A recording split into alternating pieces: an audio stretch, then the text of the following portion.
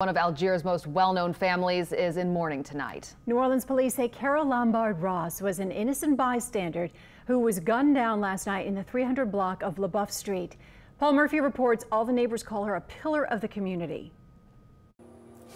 In the light of day, you can see about a half dozen vehicles sprayed with bullets in the vacant lot where an Algiers woman lost her life.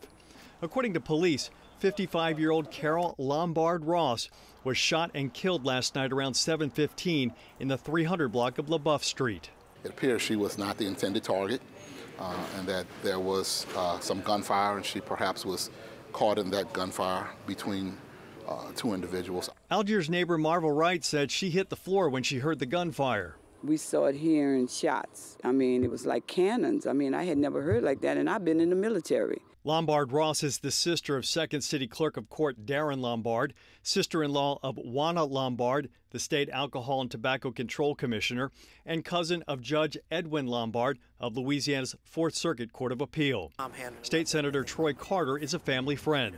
Why Carol, such a sweet person, someone that was so committed to making the neighborhood better. The victim lived in this pink house at 316 LeBoeuf, just down the street from the lot where she was murdered.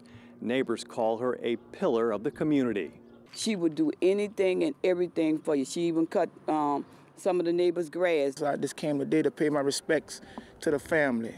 So, you know, it just, this, you know, I just want them just to turn y'all self in because y'all know what y'all did, you know y'all did wrong. Police are urging anyone who may know something to say something. If there's anyone who has any information about this case, uh, please call us or call Crime Stoppers right away. Paul Murphy, Eyewitness News. And as you did just hear there, if you know anything about Carol Lombard Ross's murder, you are urged to call Crime Stoppers. That number is 504 822 1111.